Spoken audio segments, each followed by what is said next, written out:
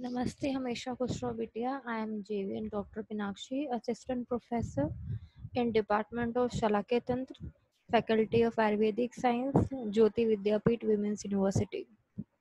Today in this session, we will discuss the corneal ulcer. But before that, we have to discuss a brief review of the inflammations of cornea. What is the inflammation of cornea? It is known as the keratitis and uh, keratitis is characterized by corneal edema, cellular infiltration, and ciliary congestion. These are the three terms which are very important in term of keratitis. ciliary congestion is related to the eye redness. And uh, then the classification of the keratitis. It is difficult and uh, to classify and assign a group to each and every case of keratitis as overlapping of the concurrent findings tend to obscure the picture. And uh, however, the following simplified topographical and etiological classifications provide a workable knowledge. First, there is the topographical classification or the morphological classification. It can be divided into two types of ulcer keratitis ulcerative keratitis and as a non-ulcerative keratitis. So first we will classify the ulcerative keratitis. Ulcerative keratitis is the corneal ulcer. Corneal ulcer can be further classified variously depending upon the location. It can be central corneal ulcer or the peripheral corneal ulcer. Depending upon the purulence, they can be purulent corneal ulcer or uh, suppurative corneal ulcer, which is most bacterial and fungal corneal ulcers are suppurative. And second is a non-purulent corneal ulcer, which most of the viral, chlamydial, and allergic corneal ulcers are non-suppurative. Then the third classification is depending upon the association of hypopyon. There can be simple corneal ulcer without hypopyon, and second there is hypopyon corneal ulcer. Then the fourth classification is depending upon the depth of the ulcer. There can be superficial corneal ulcer, second one deep corneal ulcer, third one corneal ulcer with impending perforation, and fourth is the perforated corneal ulcer.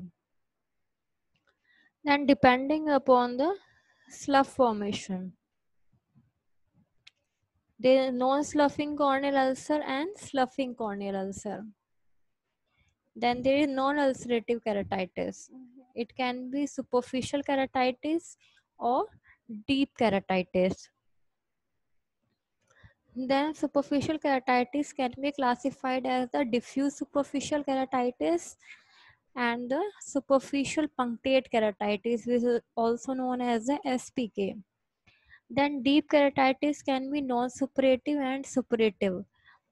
In the non-suppurative deep keratitis can be classified as interstitial keratitis, disciform keratitis, keratitis profunda, sclerosing keratitis, whereas the suppurative deep keratitis can be classified as the central corneal abscess or posterior corneal abscess. Then there is the etiological classification. It can be infective keratitis, allergic keratitis, trophic keratitis, keratitis associated with diseases of skin and mucous membrane, keratitis associated with systemic collagen vascular disorders, uh, traumatic keratitis, idiopathic keratitis. So, in case of first classification, the infective keratitis, it can be bacterial, viral, fungal, chlamydial, protozoal, spirochetal. Allergic keratitis can be phlyctenular keratitis, vernal keratitis, atopic keratitis.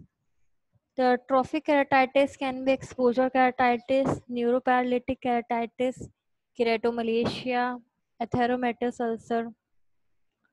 Then keratitis associated with disease of skin and mucous membrane. Keratitis associated with systemic collagen vascular disorders.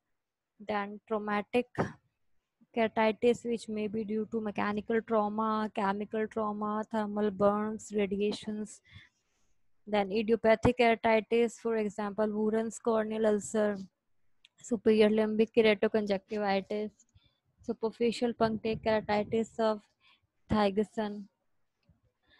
And then we come to the ulcerative keratitis. Corneal ulcer may be defined as discontinuation in the normal epithelial surface of cornea associated with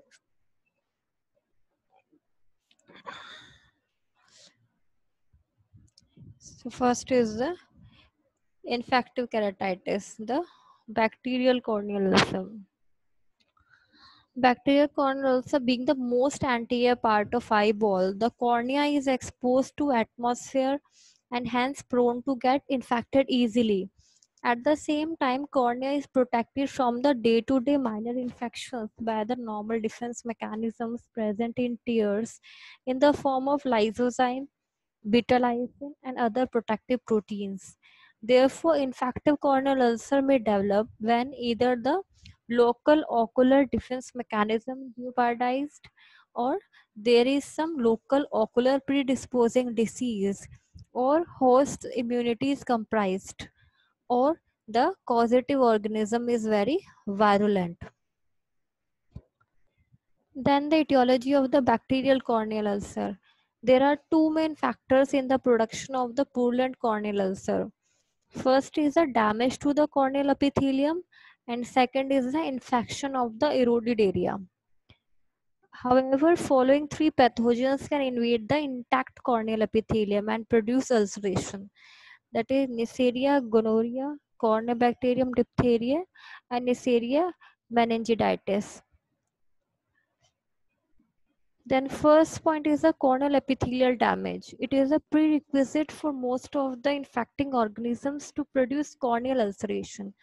It may occur in following conditions. First, corneal abrasion due to the small foreign body, misdirected cilia, concretions, and trivial trauma in contact lens wearers or otherwise. Second is the epithelial drying, as in xerosis and exposure keratitis. Then third is due to the necrosis of epithelium, as in keratomalacia. Fourth is the desquamation of epithelial cells as a result of corneal edema as in bullous keratopathy. Fifth is the epithelial damage due to trophic changes as in neuroparalytic keratitis. Then second point is the sources of infection.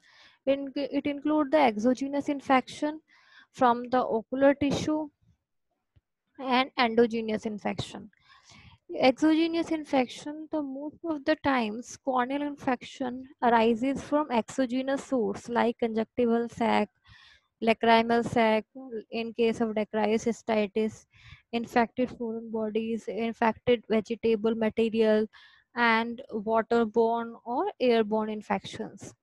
Then source of infection from the ocular tissue owing to direct autonomic anatomical continuity Diseases of the conjunctiva readily spread to corneal epithelium, those of sclera to stroma, and of the uveal tract to the endothelium of cornea.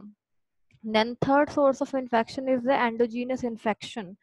Owing to a vascular nature of cornea, endogenous infections and are of rare occurrence. The third point is the causative organisms. Common bacteria associated with corneal ulceration are Staphylococcus aureus, Pseudomonas pyocyanea, Streptococcus pneumoniae, E. coli, Proteus, Klebsiella, and gonorrhea, and meningitis, and Corynebacterium diphtheria. So this session completes here. Rest part of the bacterial corneal ulcer we will discuss in the next session. Thank you so much. This session is powered by digital version 2.0 Jayoti Vidyapeeth Women's University. I hope you are satisfied with my digital session. If you have any query, please mention in the comment box. I will resolve it. Thank you so much.